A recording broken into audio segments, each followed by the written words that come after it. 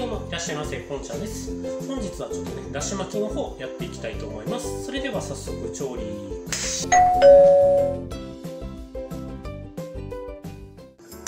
卵割る時のコツなんですけれどなるべくひびを入れるのを1回で決めきってください。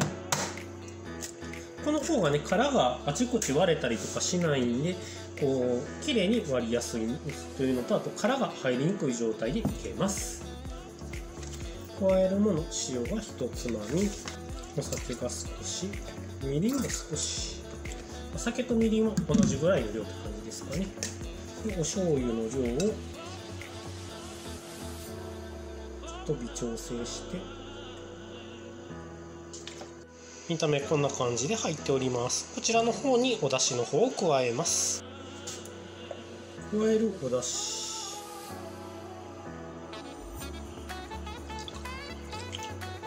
これは 90cc レードルなんですけどなみなみ1杯入れてる感じですね。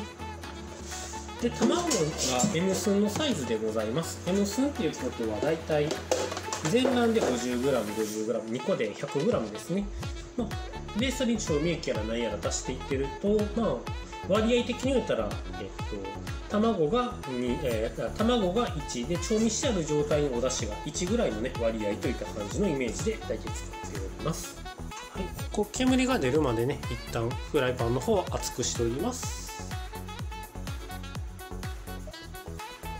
なったところに油冷たい油の方を入れて全体的にならします、はい、フライパンの方を慣らしながら卵の方溶いていきます。まあ、溶き加減こんなもんでございます。あんまりに泡立てすぎない方がいいかと思います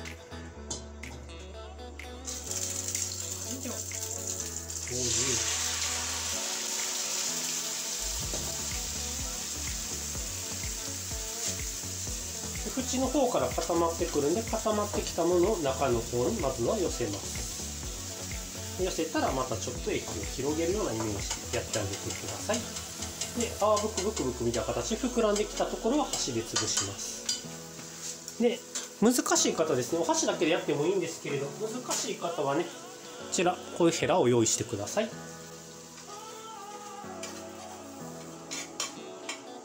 最初の1回目の時に関しましてわざわざ返す必要性はないです。こうやって寄せるだけで十分でございます。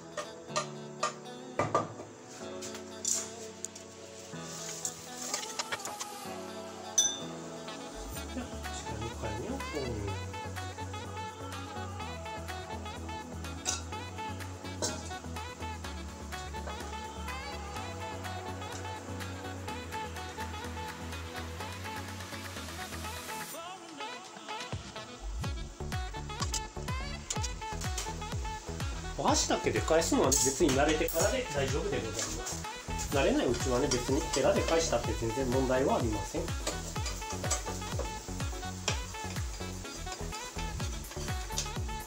んな感じにちょっとこうねヘラちゃんと入るスペース作ってあげてふっと回してあげる。でこうもしなってしまった場合は寄せてペロンってこうかけてあげたら十分でございますね。大丈夫でございます。ちょっと油が少ないなって思ったら油の方ね足してあげてください。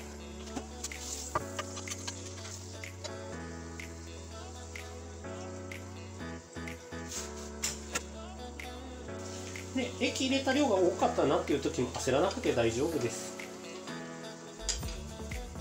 入れた後にこうやってヒューと寄せていただいてねまた固まるまでちょっと待っていただいたらいいので。でここまで来たら残りをしっかり巻いていきましょう。もうねだし入れてる量が限界値なので超飽和状態みたいな感じになっております。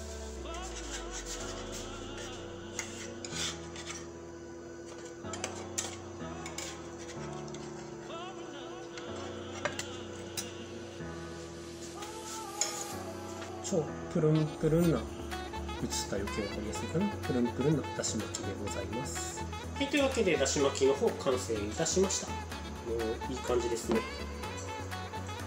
ちらねもうおだしがねどんどんどんどん溢れてきてどんどんどん溜まっていくんですよ。ちょっとこの辺お皿角度的に見えないんですけれど。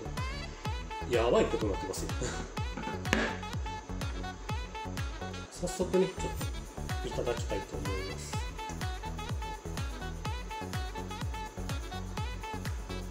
いい感じの層になってますよ。超プンプンです。わふわのでも今ね熱々なんで絶対やけど必須みたいな感じでございます。いただきます。うん。うん。うん。うん。うん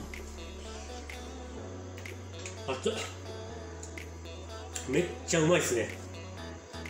あのー、ちゃんとしたお出汁を入れてるんでねあの調味料としては全体的にちょっと少なめに抑えてるんですけれどうまみの爆弾でございます。口入れた瞬間お出汁ジュワーンみたいな形なんでね。